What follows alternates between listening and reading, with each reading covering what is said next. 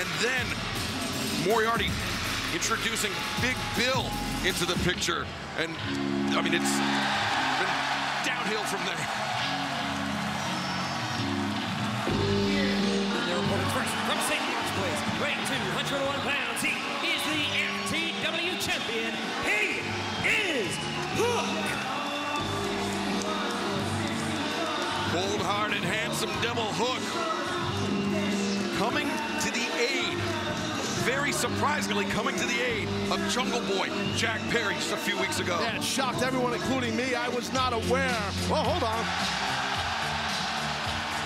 Hometown boy.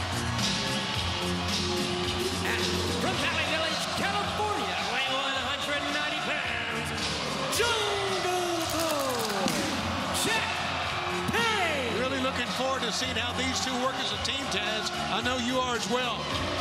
I am because they've never teamed. Right. And that's a problem where Moriarty and Big Bill have. So that could be an issue, but we'll see how this works out between Jungle Boy and Hook. Show respect between Jungle Boy Jack Perry and Hook.